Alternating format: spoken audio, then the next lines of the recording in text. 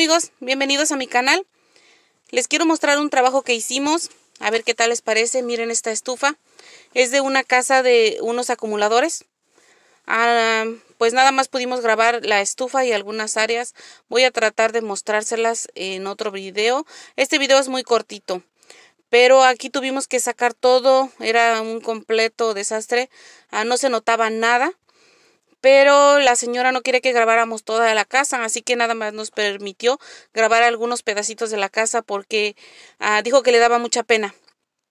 Así que pues esto es lo que les quiero mostrar de la estufa, en qué condición estaba. Ah, por ejemplo, hay cosas y mucha comida que estaba desde el 2017, me, me acuerdo. Eh, era demasiada comida caducada y, y, este cliente era de esos clientes que no quieres, no quieren que tires nada. Entonces, todo lo que tiras ellos van y lo vuelven a sacar de la basura y miran todo eso que, que ellos para ellos vale mucho, hasta los toppers y todo. Bueno, pues aquí les presento el después.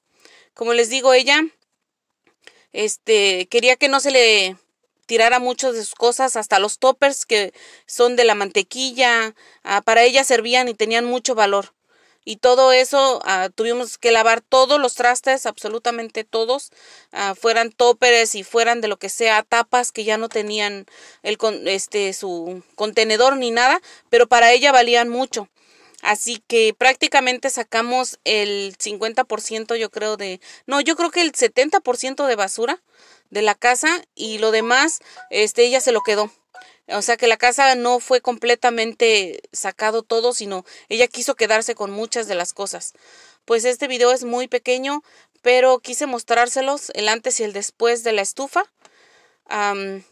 en, para este momento todavía seguimos trabajando en esa casa, así que nos va, nos ha tomado varios días hacer nada más un cuarto, la sala y la cocina.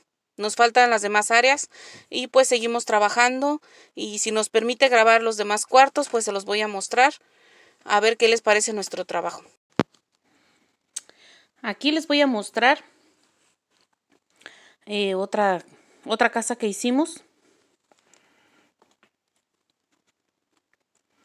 En esta casa es, es lo mismo.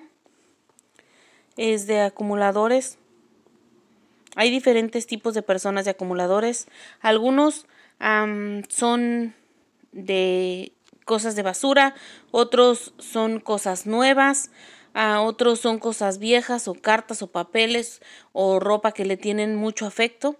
Pues en esta casa la señora compraba demasiadas cosas. Le gustaba cocinar, le gustaba hacer de, este, manualidades, le gustaba hacer de todo y comprar y comprar. Entonces, ese era el problema que ella tenía.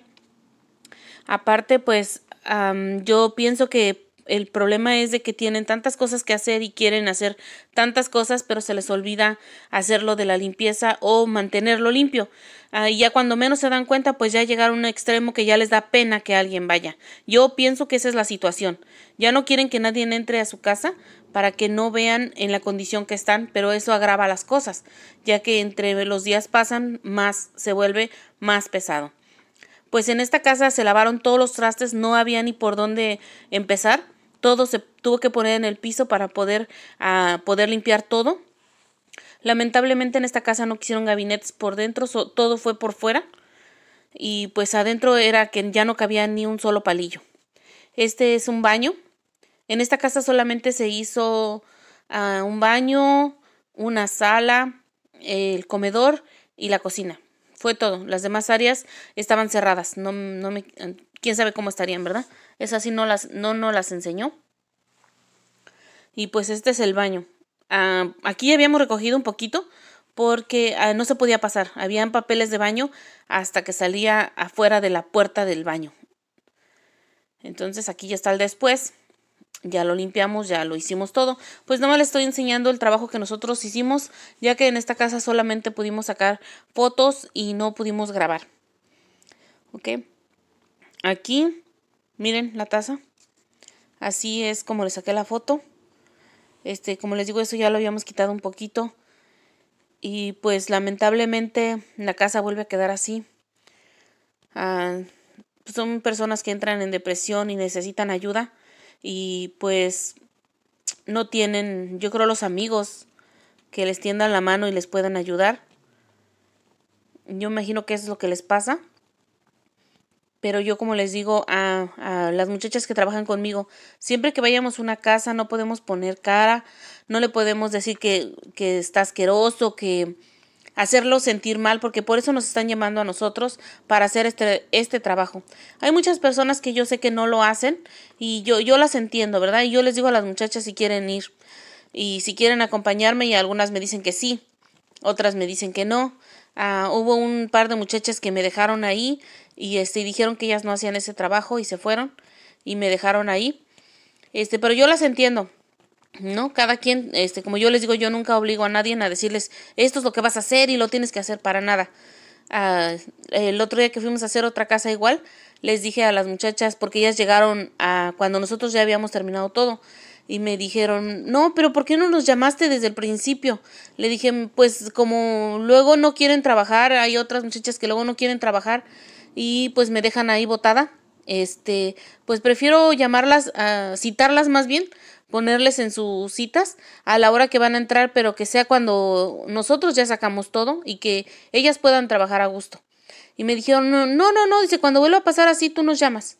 Bueno, pues esta ocasión me las llevé y ahí andábamos bien cansadas sacando todo y como esta persona que nos tocó hacer, eh, pues ella sí quería que no le tiráramos sus cosas, pues sí es un poquito más difícil, como yo les he dicho, hay diferentes tipos de acumuladores el que nos deja quitar todo y tirar todo y el que quiere le tiene mucho afecto a todas sus cosas y pues las quiere conservar.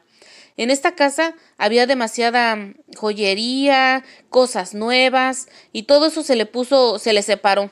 Ropa, zapatos, todo se tiene que separar y pues se tiene que mover la cama, se tiene que mover los muebles para asegurarnos pues que queda limpio. Entonces pues sí es un trabajo pesadito y pero eh, la, este cliente, por lo menos el de esta casa, quedó tan contento que se metió a su cuarto y se puso a llorar, porque no podía creer cómo estaba su casa, porque ese cliente nos dejó ahí y nos dijo, ustedes limpien, yo ya sé cómo hacen su trabajo y no tengo ningún problema. Pues esta es la sala, miren. Esta es la sala y pues así estaba. Y un día antes ella se había caído, nos comentó, porque pues de tanto tiradero que había, ah, no podía pasar, entonces se cayó y se lastimó su pie y andaba rengueando cuando nosotros llegamos.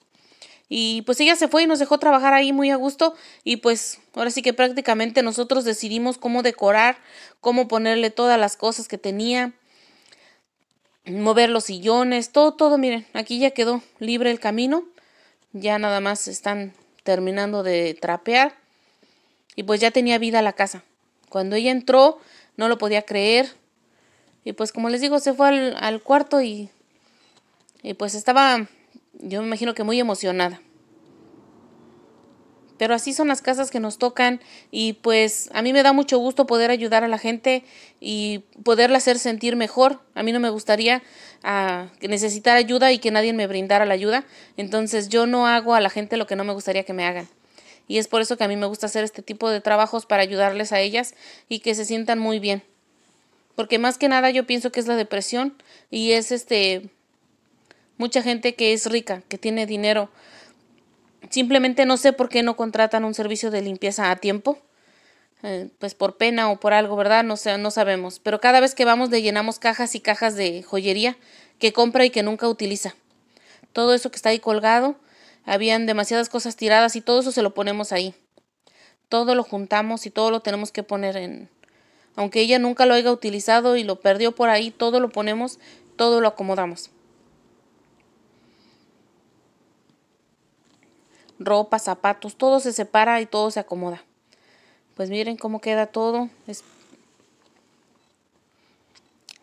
Aquí están unas fotos del antes y el después.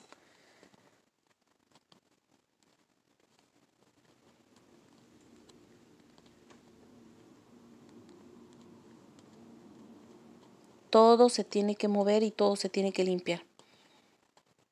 Bueno amigos, nos vemos en el próximo video. Gracias, no se les olvide darle like.